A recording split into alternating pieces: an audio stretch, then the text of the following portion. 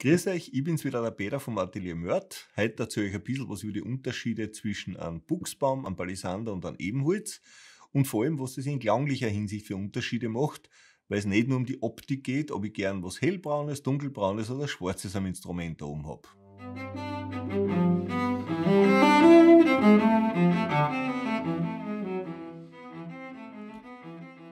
Fangen wir mal an mit dem Material Palisander das in Wirklichkeit jetzt aufgrund der Reisebeschränkungen näher mehr erlaubt ist. Wir reden da von dem sogenannten Rio Palisander, also Imperial Rio Rosewood. Das ist inzwischen im Artenschutzabkommen gelistet und das darf man näher uneingeschränkt verarbeiten und in die Welt verschicken. Macht auch Sinn.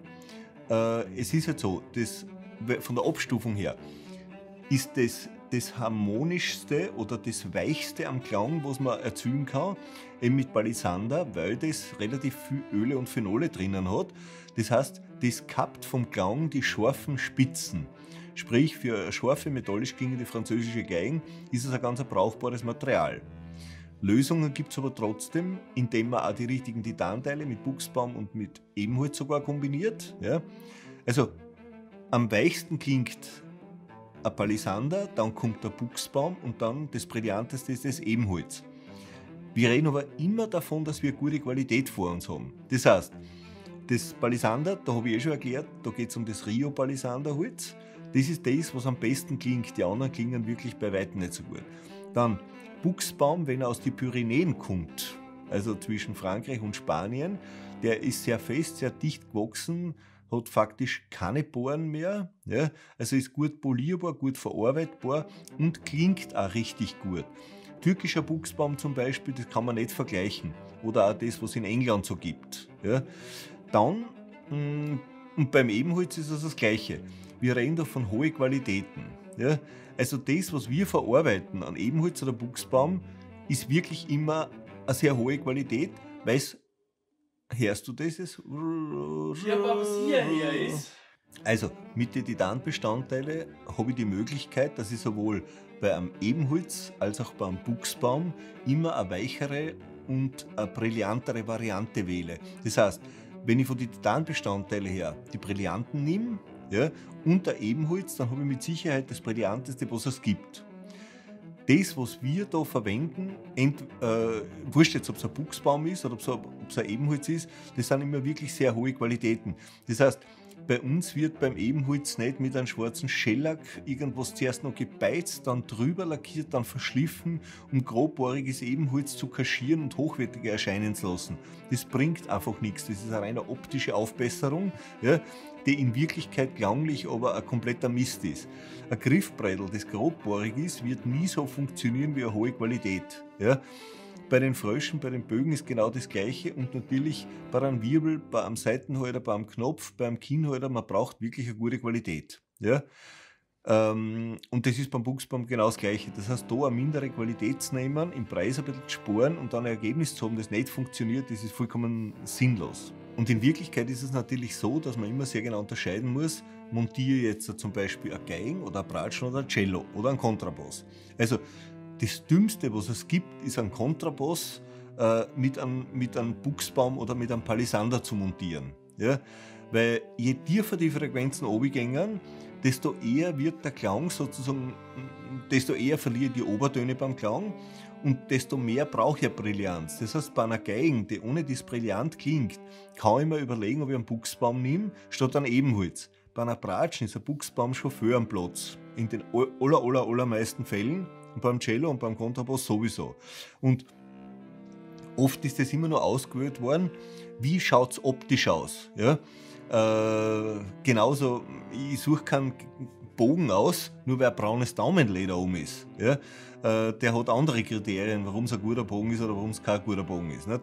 Und genau das Gleiche ist natürlich auch bei diesen Bestandteilen.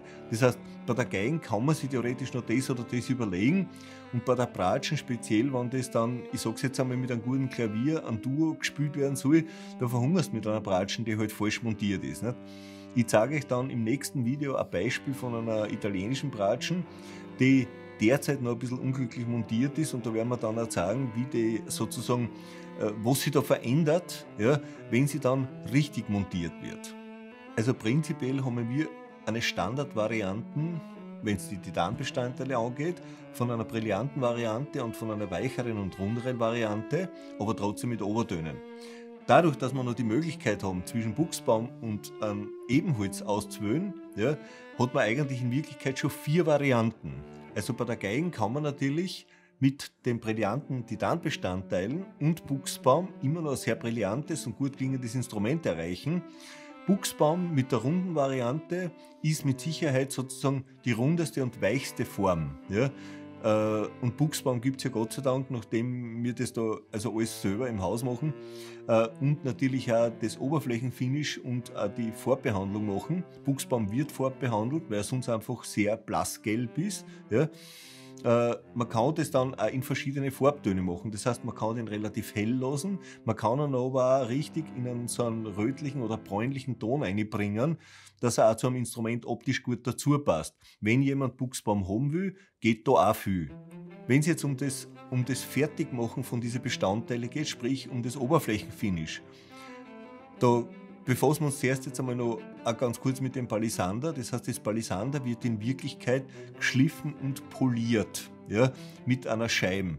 Das heißt, ähm, das ist dann glänzend, man sieht die ganzen Poren, die das Palisander hat und hat optisch eine ganz nette Wirkung. Ja.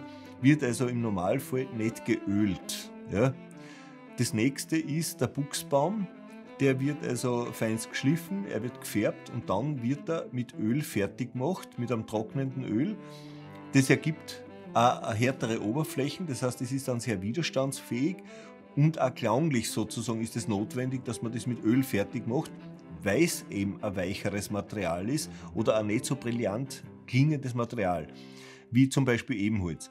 Und beim Ebenholz ist es so, das wird in Wirklichkeit feinst geschliffen, dann kann man entweder das Ganze polieren, gleich wie man es mit einem Palisander macht, oder man kann hergehen und das Ganze mit einem Leinöl, das auch ein trocknendes Öl ist, fertig schleifen. Das ist dann so, wie man es aber am Hals macht. Nicht? Äh, man hat dann im Prinzip, wenn das getrocknet ist, wirklich eine sehr widerstandsfähige, seidenmatte Oberflächen, ästhetisch unglaublich schön. Ja? Also mir persönlich gefällt es sogar besser, wie wenn das poliert ist. Und für alle, die sozusagen sich äh, jetzt äh, von der Zerspannungstechnik her interessieren, bei Palisander ist das Problem in Wirklichkeit das, dass es, äh, sobald es durchs Bearbeiten, sprich durchs Fräsen, ja, warm wird, äh, riecht es natürlich stärker und auch diese, diese Phenole und diese Öle verunreinigen bzw. verkleben auch die Spannuten und die Fräser schneiden. Da hilft man sich ganz gut, indem man das Werkstück während des Bearbeitungsprozesses einfach auch kühlt. Ja? Und zwar richtig kühlt, dann geht das auch da los. Bei Ebenholz und bei Buchsbaum ist das nicht notwendig. Das sind also relativ leicht zu zerspannende Materialien. Also ich hoffe, dass das Video äh, die eine oder andere Information für euch bereitgehalten hat und dass es also jetzt klar ist, es geht nicht nur um optische Sachen, sondern es geht vor allem auch um klangliche Sachen. Warum verwende ich das eine oder das andere Material? Und jetzt eine einfache Frage an euch. Wem von euch war denn das klar, dass das nicht nur um optische Sachen geht, sondern eben vor allem um klangliche Sachen geht? Ja? Äh, schreibt es uns gern unten in die Kommentare ein, hm, falls ihr irgendwelche Glocken oder Buttons sucht. Keine Ahnung, wo die herumschwirren. Ja. In jedem Fall hat es mich gefreut, dass ihr dabei wart und ich freue mich, wenn ihr das nächste Mal wieder dabei seid. Viert euch, bis zum nächsten Mal. Hast du ihn noch nicht eingeschalten? Was? Sicher, warum nicht? Ja, sparen Strom. Wieso hängt der am Strom? Achso, du meinst sparen Strom, wir haben es nicht so dicke. machen wir es aktiv. Genau. Dann jetzt aktivieren wir den. Wem von euch war denn das schon bewusst? Schreibt es uns in die Kommentare. In Wirklichkeit verleiten wir euch jetzt zum Schreiben und zum Kommunizieren. ja, falls jemand den Like-Button sucht, druckt einfach mit dem Cursor auf meine Nosen auf, dann geht sie auf. Jetzt noch einmal normal. Das war super, oder? Falls jemand von euch den Like-Button sucht, den haben wir mit einem Radiergummi ausradiert. Immer wenn der Bub den Daumen nach oben zeigt, weiß ich, ich war brav und hab's gut gemacht. Ja, wenn wir beim Filmen von der Klappe reden, dann meine ich immer mein Buben, der mal ruhig sein soll und nicht irgendeine Klatschklappe. Ich habe mich gefreut, dass ihr dabei wart und wünsche euch, na, und wünsche mir oder uns? Wurscht. Bis zum nächsten Mal. Pfiat euch. Du hast einen Wunsch, willst du sagen, oder? Nein, das mache ich nochmal.